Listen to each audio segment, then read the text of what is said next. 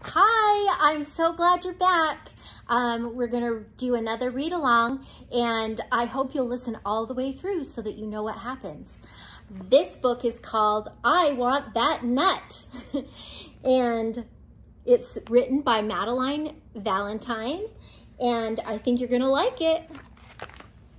Mouse and Chipmunk were playing together and they heard kerplunk. They peeked through the bushes and saw a nut, a big, beautiful nut. That's a big nut. Mouse looked at the nut. Chipmunk looked at the nut. Mouse and Chipmunk looked at each other. You take it. No, you take it. I insist. You should really take it. Well, I guess I did see it first. Okay, I'll take it.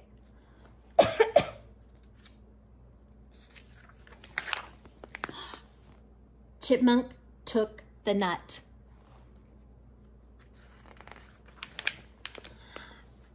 Chipmunk and the nut were inseparable. They played together, they read together, they laid in the grass, they stared at the clouds together. Mouse is like, I want that nut. Mouse went to Chipmunk's house for a friendly visit. He very politely knocked on the door. Mouse, Chipmunk, and the nut sat down to tea.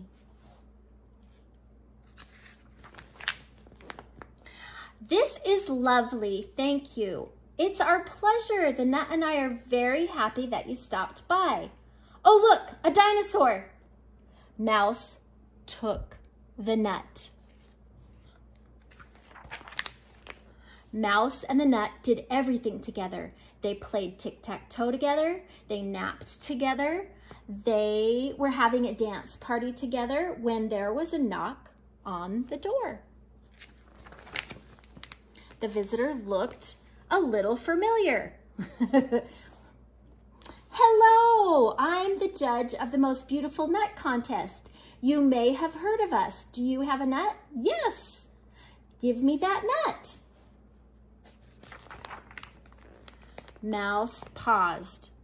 He looked very closely at the visitor. He handed the nut to the visitor.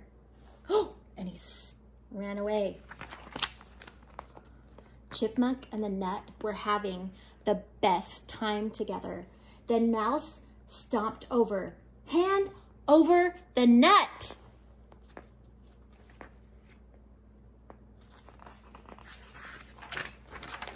The nut is mine, they both shouted. Actually, it's mine. Somebody else is saying that. Who is it?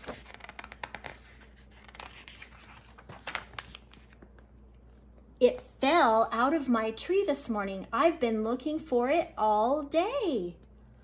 Thank you for finding my nut. Goodbye.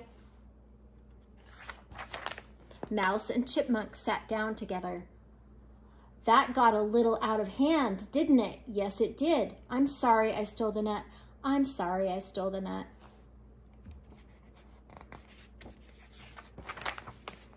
Hey, look at this log. They danced and they stacked and they napped. Mouse smiled at Chipmunk. Chipmunk smiled at Mouse. Mouse and Chipmunk and the log had the best time together.